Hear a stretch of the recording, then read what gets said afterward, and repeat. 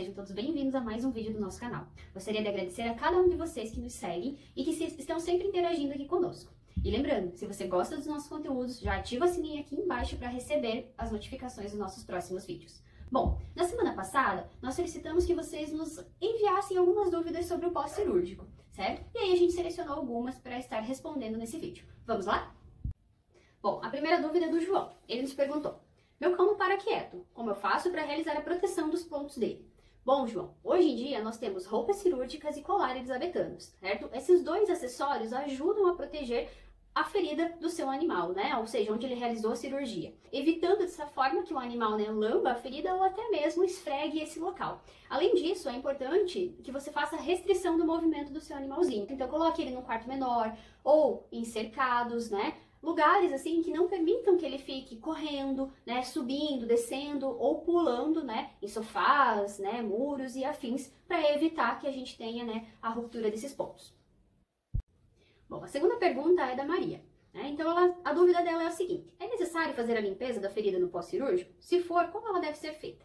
Sim, Maria, é importante que a gente faça a limpeza dessa ferida do pós-cirúrgico. Isso vai ajudar né, a, a, evitar inflamações, infecções nesse local, certo? A limpeza normalmente é feita com solução fisiológica, né, aquela que a gente compra na farmácia, e gase. Só que, ao passar essa gase, não devemos fazer tanta força para evitar né, micro lesões ali do atrito nessa limpeza. Mas é importante que a limpeza seja feita conforme as recomendações do médico veterinário que fez a cirurgia no seu animalzinho. Bom, minha terceira dúvida veio do Paulo. Paulo nos perguntou: os pontos do meu cachorrinho abriram. O que devo fazer?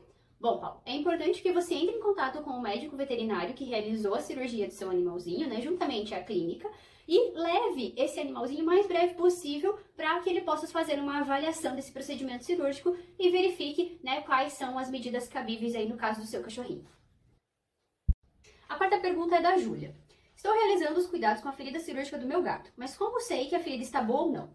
Júlia, normalmente uma ferida boa, ela está com coloração rosada, sem inchaços, né, e sem secreções. Mas isso não é válido para tudo, porque depende do procedimento realizado, da extensão dessa ferida, se foi realizado sutura ou não, certo? Porque pode gerar características diferentes dessa ferida e também da fase de recuperação do seu animalzinho. E a pergunta número 5 veio da Ana. A Ana nos perguntou: poderia utilizar loções ou elixires caseiros na ferida? Ana, é importante ressaltar que se o seu médico veterinário não recomendou o uso desses produtos, você não utilize porque isso poderia ser um complicador na melhora da ferida cirúrgica do seu animalzinho. E a pergunta número 6 veio da Clara. Clara nos perguntou: é necessário fazer curativos em casa?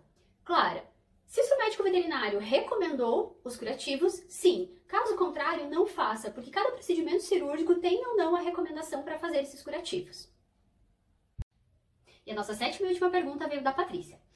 O que pode acontecer se não tomarmos os devidos cuidados com uma ferida pós-cirúrgica? Bom, Patrícia, sua pergunta é extremamente importante. Se a gente não cuidar, não tratar dessa ferida de modo adequado, né, uh, pode acontecer infecções, ruptura dos pontos, trazer desconforto e dor para esse seu animalzinho e, além disso, né, ter que levar ele novamente para uma avaliação veterinária ou até mesmo para um novo procedimento cirúrgico. Então, é extremamente importante que nós tenhamos os devidos cuidados com a ferida pós-cirúrgica. Bom, pessoal, esperamos que vocês tenham gostado do nosso vídeo de hoje. E se você ainda não é inscrito, se inscreve e fica por dentro das nossas dicas e novidades do canal. Até o próximo vídeo!